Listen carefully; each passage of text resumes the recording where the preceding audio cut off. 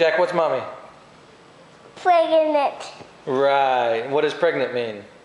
She got a baby in the belly. And what's the baby's name? Baby brother. Baby brother, that's right. Pretty good, Matt. Where where is baby brother?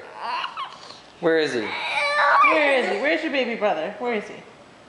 There he is. There he is. Is. That's right. Good job. Right. He is right there.